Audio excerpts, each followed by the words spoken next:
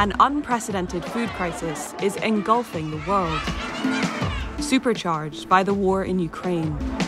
It's brought rising food prices, malnutrition, and the potential for much, much worse. It threatens to tip tens of millions of people over the edge into mass hunger and famine.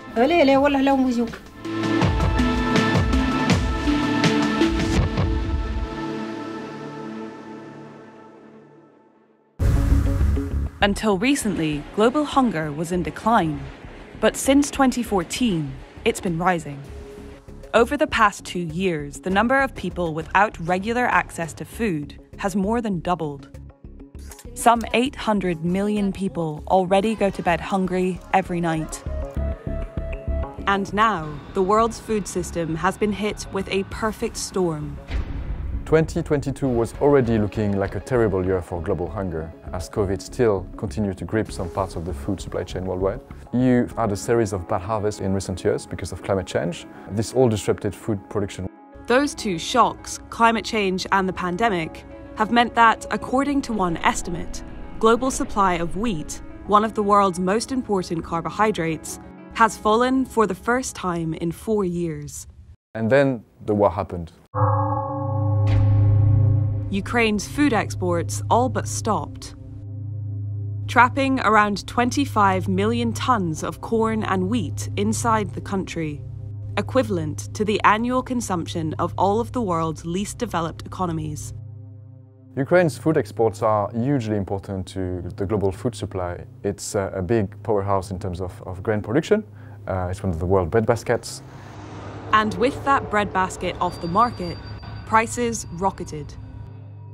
Imagine if you were buying your food from Ukraine, and now let's say you need to go to Canada or Australia or Argentina. That means that you will have to pay more because of extra freight, and you will have to pay more in time because it will take you longer, and you will pass these costs to the consumer and other shocks have made the crisis worse.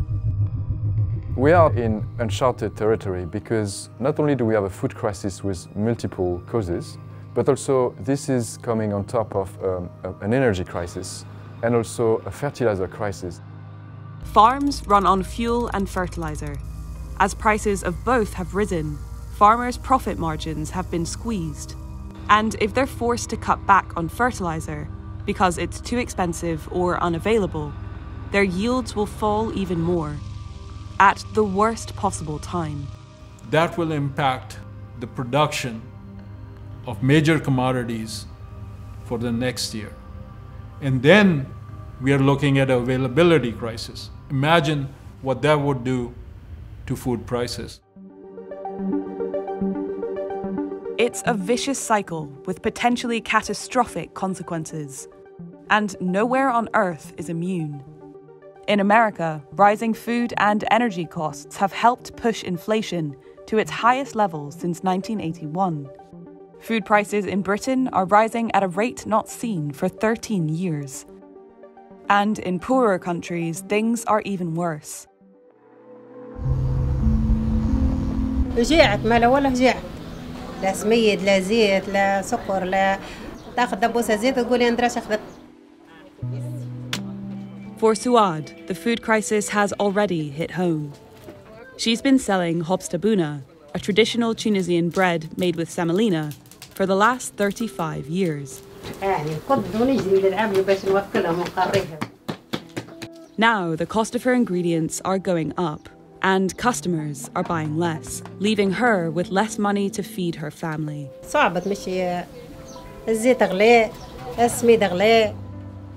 اللي كان يخفي خمسة وستة ولا يخفي خبزتين ولا ثلاثة تقطع السميد حبسه على صغارة وعلى دار يصرف Tunisia usually imports about 42% of its wheat from Ukraine and relies on it for sunflower oil, another crucial commodity.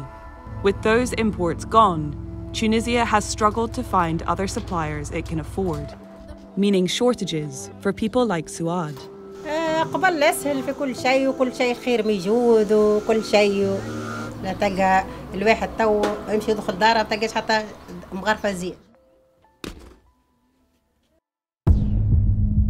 In Tunisia, hunger is turning to anger.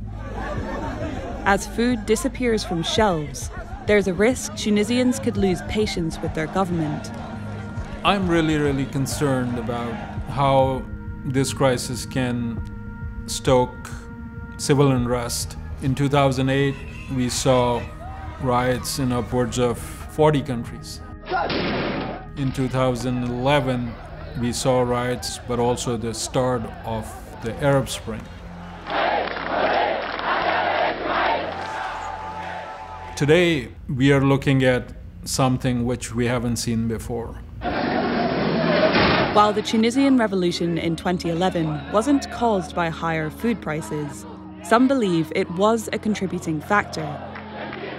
And it's not just in Tunisia, where hunger looks set to cause problems for governments. De que haya familias que hoy no puedan poner un plato de comida digno en su mesa. The Economist's modelling suggests that many countries could see a doubling of the number of serious outbreaks of unrest over the next year. And it wouldn't just be anger driving this unrest, but a genuine fear of going hungry. Households in sub Saharan Africa already spend up to 40% of their income feeding themselves. A rise in prices means millions won't be able to afford to eat. In many, many cases, their best day is like our worst day. Imagine if you are spending 50% of your income just on food. How much space do you have for anything else? And then the prices of two things which really, really matter, meaning your food and your fuel, they go up. Governments are tapped out. There are no safety nets. Those that do have supplies have been turning inwards. There are a number of fixes that countries are, are turning to. One of the unfortunate ones is, is protectionism. Uh, that is to say, export controls and, and stockpiling. Following severe heat waves earlier this year, India banned wheat exports. In total, 23 countries now have severe restrictions on food exports. The thing is, they might be doing themselves more harm than good.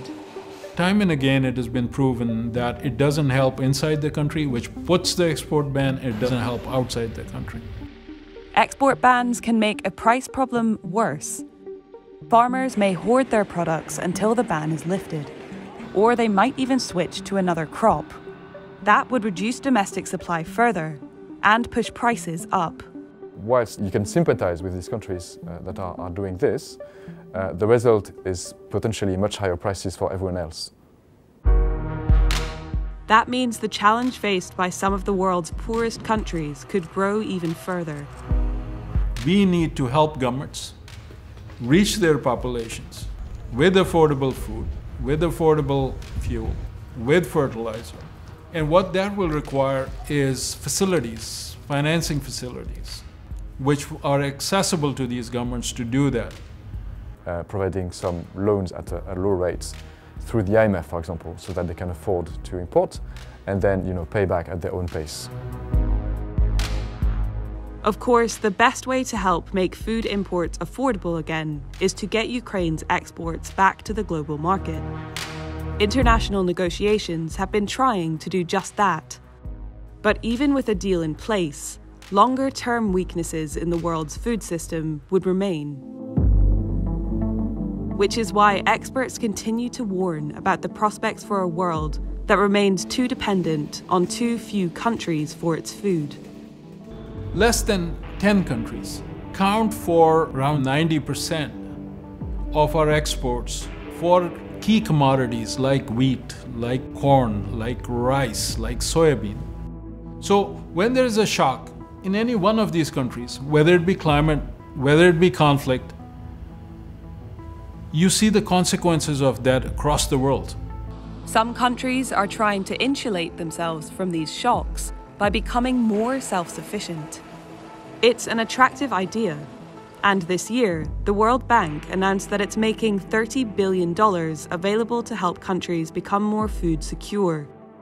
But it's only part of the answer to avoiding another crisis. The reality is that it's just too economically infeasible to be self sufficient. Most countries will always need to import some food. And as the climate crisis worsens, global food shocks are set to become ever more frequent and harder to predict. So it makes sense not to put all of your eggs in one basket. If you are a country which relies on imports, make sure that your import base is not so small, that it is diversified. So if one country stops, somebody else can jump in. Where is our insurance for something as basic as national food security? The world is already starting to understand the true cost of volatile prices. Absolute levels of global hunger in 2022 could be the highest ever, but without making some fundamental changes to how the world's food is supplied, the next crisis could be even more deadly. What's at stake is the whole global order. Insufficient nourishment for millions upon millions of people this is not only about today, this is also about tomorrow. It is our collective problem. Thank you very much for watching. And if you want to learn more about the global food crisis, please click on the link and don't forget to subscribe.